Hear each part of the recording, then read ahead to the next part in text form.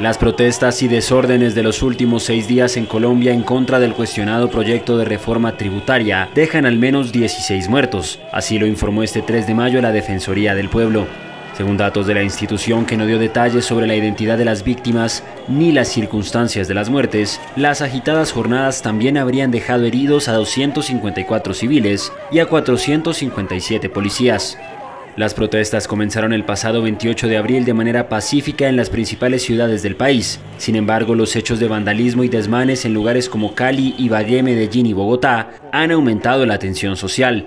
El presidente Iván Duque anunció el 2 de mayo el retiro del polémico proyecto presentado el 15 de abril por el Ministerio de Hacienda y solicitó al Congreso tramitar de manera urgente un nuevo proyecto fruto de los consensos para así evitar la incertidumbre financiera.